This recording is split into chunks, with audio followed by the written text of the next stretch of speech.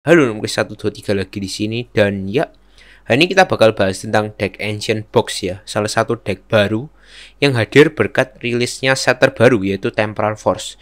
Dan di deck ini diisi oleh Pokemon-Pokemon Ancient. Ini termasuk deck budget jadi Pokemon Ancient yang non EX ya. Ada Coraidon ada Roaring Moon, ada Gretas, ada Flutterman dan juga banyak trainer Ancient lainnya bakal ku jelasin cara mainnya dan ku jawab pertanyaan-pertanyaan terkait tentang deck ini serta ngasih contoh gameplay yang seperti biasa. Oke, kita langsung mulai saja videonya.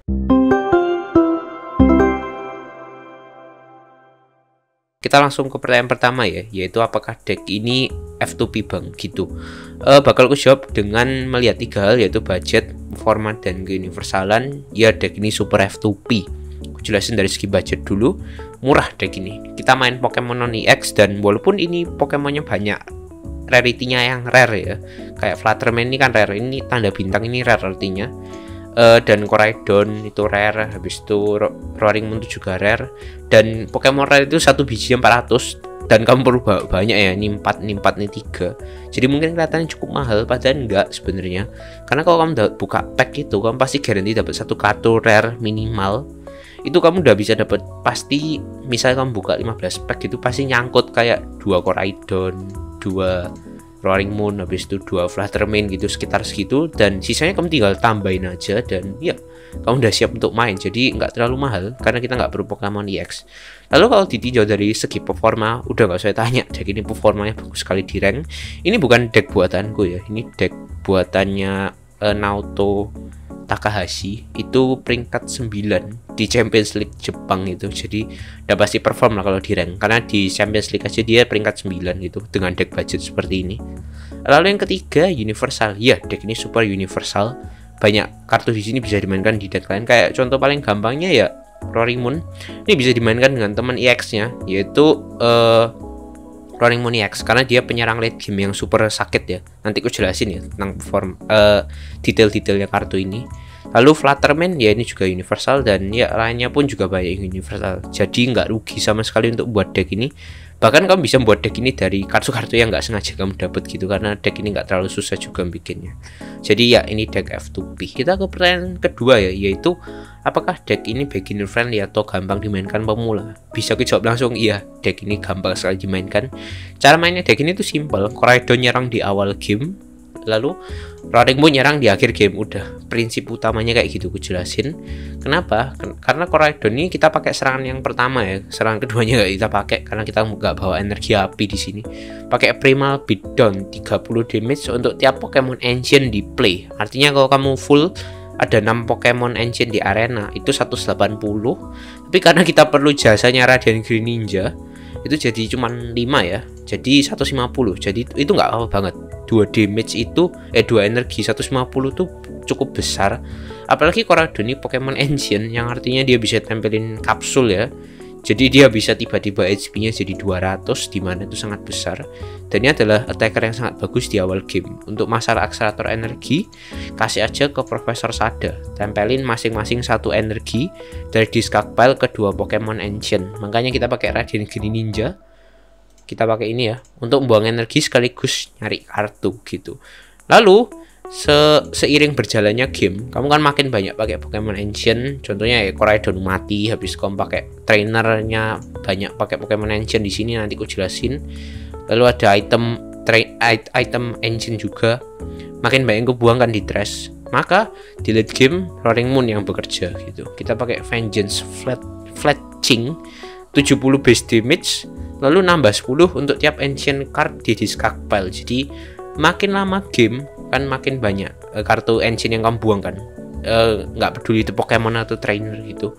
Jadi Vengeance Flattingnya nih makan makin sakit gitu. Per, aku pernah sampai damage 300 dengan attack ini ketika udah bener-bener late game. Jadi makanya awalnya kasih Coraidon penuhin Pokemon engine di arenamu. Lalu late gamenya kasih ke Roaring Moon. Udah simple gitu aja cara mainnya. Jadi nggak terlalu susah untuk dipahami kan. Kita ke pertanyaan selanjutnya yaitu apakah kegunaan dari supporter baru? Nah kita kan bawa supporter baru ini Explorer Guidance yang baru rilis dari Temporal Force juga kan. Kita baca dulu ya kegunaan kartu ini apa. Buka 6 kartu dari atas deck ambil dua taruh ke hand. Sisanya berarti empat ya buang ke trash. Nah kegunaannya apa? Uh, kegunaannya buat buang kartu ancient lainnya sebenarnya gitu uh, untuk mempersakit damage dari Vengeance Fletching ini kan. Kan dia kan serangannya Roaring Moon ini yang Vengeance ini nambah 10 untuk tiap Pokemon eh ya, untuk tiap kartu ancient yang ada di discard pile jadi Explorer Guidance itu gunanya buat ngeboosting damage dari Roaring Moon sebenarnya. Jadi kalau di situasimu itu kamu nggak perlu Perversada untuk nempelin energi ke Pokemon Ancientmu buat nyerang gitu yaudah uh, trainer yang kamu pakai, supporter yang kamu pakai adalah Explorer Guidance. Kita ke plan selanjutnya yaitu apakah kegunaan dari Fluttermane sama Gretas? Ya, ini kan dua Pokemon Ancient yang kita ikut sertakan di deck ini ya. Aku jelasin dulu dari Fluttermane kita pakai ability-nya doang, Midnight Fluttering. Jika Pokemon yang jadi aktif, uh, Pokemon aktif musuhmu nggak punya ability kecuali Fluttermane itu sendiri atau Midnight Fluttering ability eh, ability-nya itu dan kegunaannya apa? Ya buat ngestop ability-nya Pokemon gitu yang punya ability.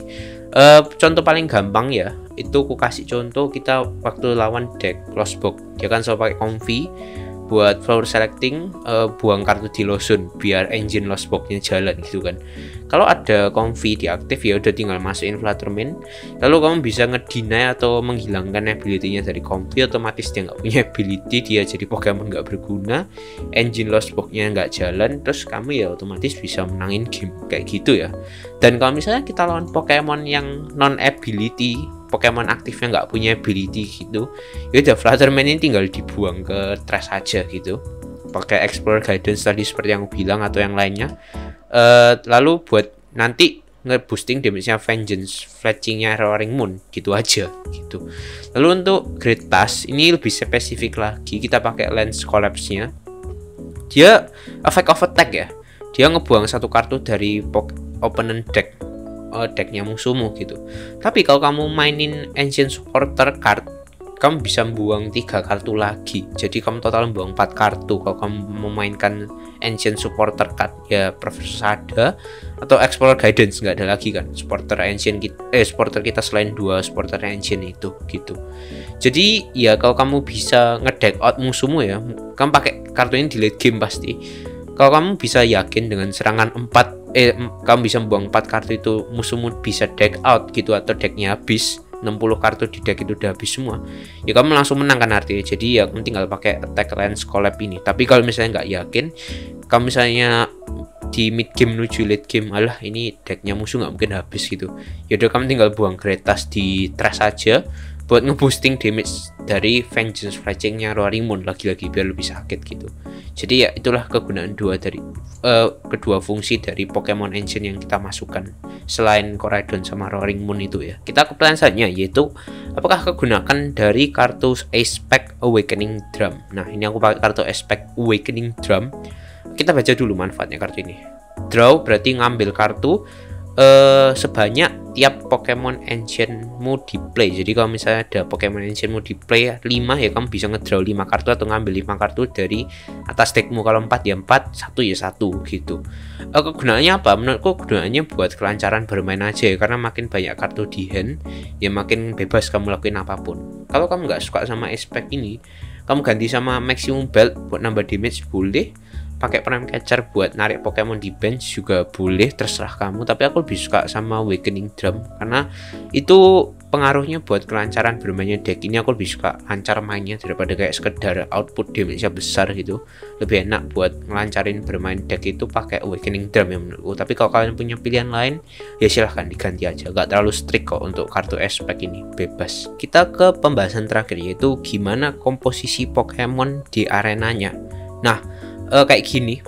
Uh, kamu pasti mau Koraidon di awal diaktif lalu uh, sisipin satu Koraidon di bench sebagai penyerang cadangan lalu jangan lupa taruh Raden Greninja buat buang energi sekaligus gali deckmu kan?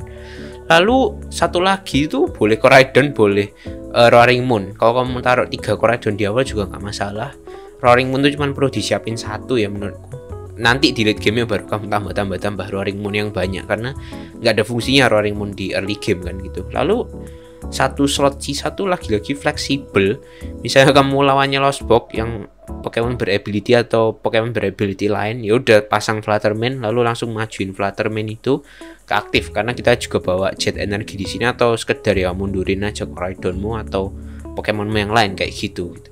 Tapi kalau kamu fullin Koraidon juga nggak masalah. Yang penting Pokemon Engine aja dan ya pasti Pokemon Engine kan karena kita nggak punya Pokemon Engine selain Radiant Green Ninja itu nggak ada nggak ada Pokemon non Engine selain Green Ninja. Jadi misalnya kamu butuh Flutterman ya Flutterman, kamu butuh Moon ya tempelan atau kamu butuh Koraidon lagi ya Koraidon. Jadi free slot itu bener-bener bebas. Jadi oke, okay, udah pembahasannya dan kita langsung aja mainkan deck ini di rank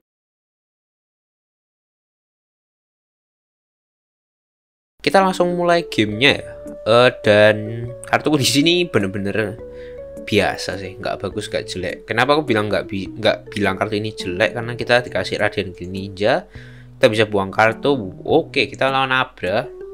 Ya kita bisa manfaatkan uh, keunggulan tipe kita ya. Karena kita punya roaring moon kan. Itu bisa sekali gebuk gitu. Abra ya mati tuh. Eh kok abra alakazam sorry. Waduh, kok dikasihnya gini. Oke, uh, kayaknya taruh sini. Karena aku nggak mau nempelin satu Flutterman lagi. Dan ya, kita next turn bisa jadi gini aja lagi dan berharap dapat Profesor Sada ya dari Pokegear ini. Berharap aja. Karena aku perlunya Koraidon, bukan yang lain. Uh, dan enaknya Alakazam sih uh, damage-nya nyerang dari bench itu kecil ya, cuma 120 jadinya nggak bakal mati dalam sekali pukul duh kok bawa Flitel ini berarti Esparta dong. Waduh ini yang nggak suka kalau Esparta nih. Kenapa nggak suka Esparta? Attacknya jadi mahal dia nambah satu attack dari Pokemon kita ya. Oke okay, oke. Okay. oke kayaknya kita harus ngalah dulu deh di gameplay ini. Uh, kita nggak bisa main langsung ngegas di awal ya. Apa kita kalah dulu. Makanya kita bawa tiga counter catcher kan itu buat mengcounter kemenangan yang tertunda gitu. Waduh ini unknown unknown ini bagi kalian yang nggak tahu itu tuh victory symbol. Kalau kalau kamu menggunakan attack ini ketika kamu punya satu prize card tersisa kamu loh ya bukan musuh. Kamu langsung menangin gamenya gitu jadi kayak instant win gitu. ini Pokemon bisa dibilang juru kunci nih. Kalau ada Pokemon ini waktu sisa price tinggal satu ya kamu menang gitu tinggal pakai victory symbol tapi harus persis satu price card itu agak susah. Apalagi kalau kamu lawan Pokemon V ya itu kan sekali mati dua otomatis kan genap dari 6 ke 4 ke 2 ke 0 gitu. dan makanya dia mungkin pakai itu di kita soalnya kita kan one pricer kan berarti satu dari 6 5 4 3 2 1 pada akhirnya dia sampai angka satu kan gitu. Tapi jujur saja sulit sekali untuk uh, nge-timing dari serangan ini ya unknown ini. Nggak nggak gampang sama sekali. Oke abra. Oh wait wait. Kalau iya tapi flutterman-nya harus nyerang ya nggak ada gunanya. Bentar. Oke saya shot uh, poke gear ini pasti bakal jadi game yang lama ini aku yakin. Oke nggak dapat oh no. Uh, conceal card kalau gitu Oke, nggak dapat. Berarti explore guidance. Ambil. Oke. Okay. Wow. Oke. Okay. Uh, eh, oh, enggak enggak. Apa ya? Stadium sama Profesor Sada aja lah. Karena dengan stadium aku bisa lebih memaintain kondisi Pokemon di arena ya. Ini aku bisa ambil Koraidonnya dulu. Aku perlu dua Flutterman. Nah, ya udahlah, tempelin dulu aja tempelin di sini ya terus di sini. Lalu next turn kita bisa uh, enter. Lalu kita bisa nyerang pakai Koraidonnya ya. Waterman gue ini rasanya mati nih di next turn. Masa nggak diserang? Agak ngebreak ini aku di awal. Uh, oke. Okay. satu dua tiga oke. Okay. dua energy fighting ya. Oke okay, Mimikyu. Mimikyu gak jadi masalah. Ya karena kita deck one pricer gitu. Oke okay, Sparta Berarti serangannya kita lebih mahal ya, jadi tiga. Dan dia evolusi jadi Unknown Vistar. Aku kira dia nyerang pakai victory symbol ini. Apa ini? Until this Pokemon is supply its against ability that has affect the weakness of this Pokemon. Oh alah. Oh alah. Oke oke oke. Oke. tapi ini cuma bisa dipakai sekali nggak terlalu kuat ya aku nggak tahu kenapa dia pakai on V-Star ini tapi eh dia nggak pakai attacknya dong karena dia udah pakai V-Star kan? Waduh dia pakai headquarter. Wah ini serangan Pokemon bisa mal-mal banget dong. Wah ini deadlock ini. Apakah kita bisa keluar dari kemelut ini ya? Kita nggak tahu. Oke okay, nice nice kita dapat uh, Roaring Moon. Let's go. Oke okay, pakai unknown. Oke. Okay. three power flip the coin. Oke okay, flip oke. Okay. oke okay, mati tutupan. 70 kan 90 nice. Kita counter pakai unknown dan kita udah bisa nyerang ya. Uh, kita harus segera menyingkirkan headquarter. Untungnya kita punya itu ya. Kita ada yang namanya eh uh, apa itu? Lost vacuum. Nah lost vacuum itu bagus banget. Ntar uh, counter catcher nggak perlu.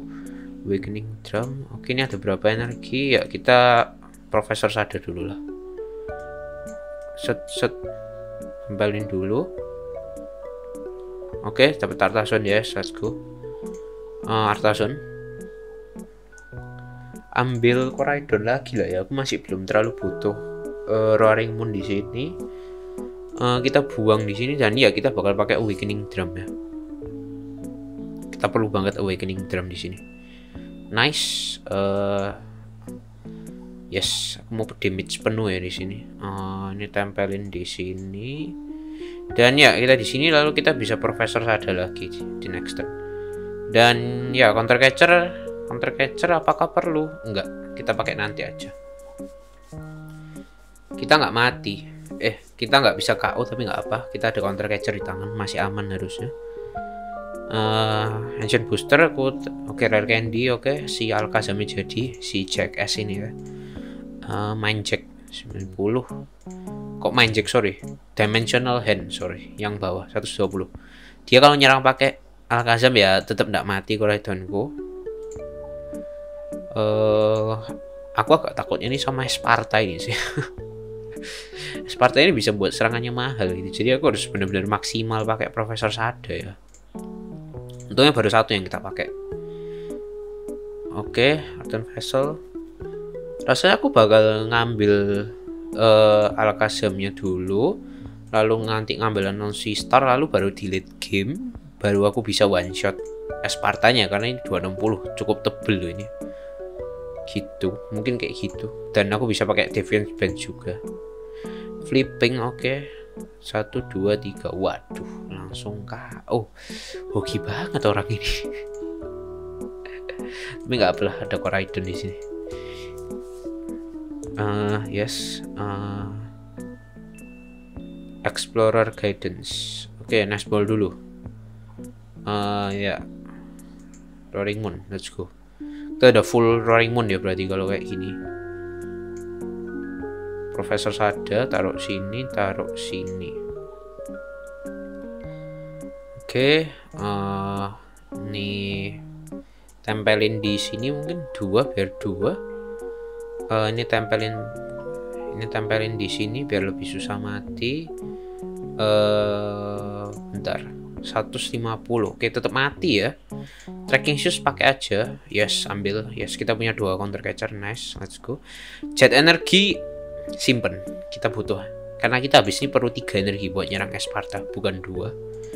Dan ya kita serang. Habis dua nice. Uh, kita ambil dua jadi posisinya sama. Nice. Nice. Tiga counter oke okay, let's go. Apakah kita bisa knock ya? Si Esparta dalam sekali pukul. Tapi kalau nggak bisa aku pun punya counter catcher jadi nggak ada masalah gitu. Kita bisa langsung tarik aja si Alakazam itu.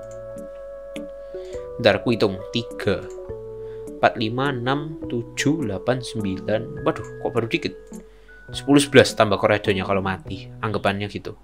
Berarti 180 belum cukup. Oke berarti kita bakal tarik Alakazam aja ya.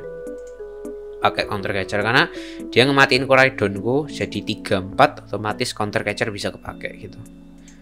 Ini di banyak situasi itu kamu bakal kayak gini, kamu kalah dulu di awal lalu nanti menang di akhir gitu. Jarang banget kamu bisa menang. Mimpin game dari awal itu jarang banget. Waduh di Yono. oke aduh Yununya jelek banget lagi. Oke. Uh, tapi dia nggak bisa kak aku kan? 30 berarti 4 ya? Eh 3 90 ya belum mati. Oke untungnya belum mati. Karena dia belum sempat naruh banyak energi oke nice. Arten Vessel let's go. Buang buang buang buang, buang. Uh, ini aku harus pakai Gradient Greninja of course nggak punya pilihan lain. Nice dapat explore guidance. Oke sada sada pasti ku ambil sama energi udah. Dua itu. Oke uh, ini bisa tempelin di sini dan ya kita bisa lanjut nyerang ya. Let's go. 120 lumayan. Jadi nanti uh, roaring moon cadangan kita kerjanya nggak terlalu berat karena kita bisa pakai yang roaring moon yang ya kita pakai roaring moon yang ini aja loh karena yang terakhir tuh rencananya mau aku tempelin Deviant's Bench gitu. Oke okay, Heroescape jadi 400 nggak ngaruh. Karena kita punya itu ya eh, counter catcher gitu. Damage-nya udah sakit banget ini pasti ada berapa sekarang? 6 eh 4 6 8 eh 6 10 12 14 15 berarti nambah 150 kali 2 150 tambah 70 220 kali 2 440 tetap mati. Oke okay, nice. Uh, ya. Kita serang aja pakai ini. Uh, Nesball mungkin buat ngosongin deck ya sekedar buat ngosongin deck aja. Oke okay, dapat energi retrieval let's go. Uh, Nesball oke okay, sudah dicek aku bakal buang grid tas. Aku perlu ngambil banyak energi soalnya dari sini. Satu satu satu. Uh, oke. Okay. profesor sada iya profesor sada uh, ini buat sini sama ini. Jaga-jaga ya. Kalau kita butuh tiga energi lagi-lagi. Oke okay, nice. Ini tempel di sini Uh, super apakah penting? Enggak, enggak terlalu. Yang kubutuhkan sekarang cuman itu sih counter catcher. Jadi aku bakal nyari counter catcher sampai ke ujung dunia gitu. Oke. Okay. Uh, ntar aku cek deck lagi-lagi. Kita cek. Oke, okay. dua. Bisa banget. 230, let's go. Boom.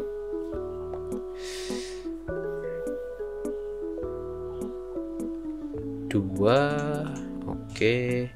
Ya kayaknya kita bakal numbalin deh. Oke, nice the lost vacuum. Artinya uh, kita bisa ngebuang ini, tapi ya tetap mati kan. Ya, apalagi dia kok ngemasukin Alakazam ya di awal aku nggak tahu. Eh, diaktif. Agak bingung nih aku, kenapa dia taruh Alakazam di aktifnya dia? Bukannya itu instant loss ya? Karena bisa langsung kubunuh ini.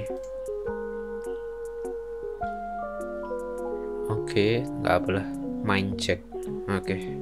Ya dia berarti sudah nggak punya jalan lain ya kalau gitu. Ya kita serang aja kalau gitu sama Roaring Moon ini. Udah pasti mati kan? Oh 510 dan ya kita bisa nambah damage lagi lihat ini. set set kebuang lagi. Done. Uh, buang satu ini namanya memperlambat kemenangan ya. Demi hasil yang lebih baik. Set. Berapa damageku? 620 gila besar banget.